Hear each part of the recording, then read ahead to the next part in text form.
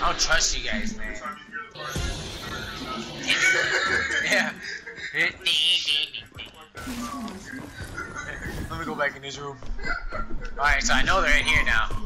They're in here. I, damn it. You gonna get down, guys. Don't boogie you guys up. Oh, I only got one boogie left.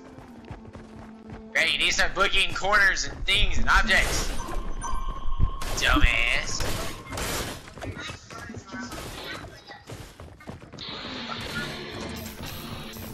What the hell? Someone just shut that damn door. Who the hell is in here?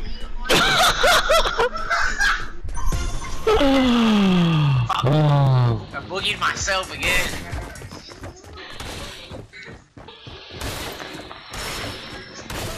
God damn it! Damn it, what you thinking?